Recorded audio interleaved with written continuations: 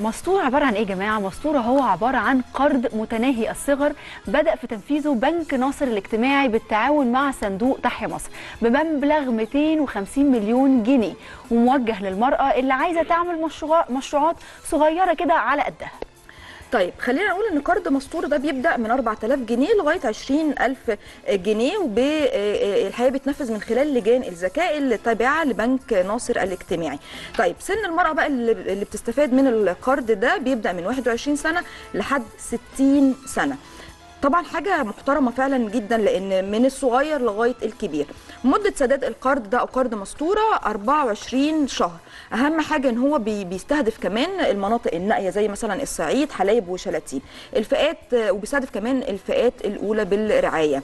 آه، عايزه أقول لكم طبعا جهد محترم جدا آه، جهد مشكور آه، والحقيقة وأكيد طبعا قرض مستورة ده هيفيد ستات كتير قوي. ويمكن كان ده هدف الدكتورة غادة والي وزيرة التضامن الاجتماعي ان هو يوصل لاكتر أو اكبر قدر من السيدات سواء بقى من المرأة المطلقة سواء أو مرأة جوزها متوفي. يعني حاجة محترمة جدا. يمكن لما قلنا المناطق النائية آه، كنا بنقصد بيها الصعيد حلايب وشلاتين. وعايزة أقول لكم إن هيبقى في كمان تسهيل في الإجراءات في ال- ال- ال- الموضوع ده في عند حلايب وشلاتين أو المناطق النائية أو الصعيد يعني زي ما بنقول.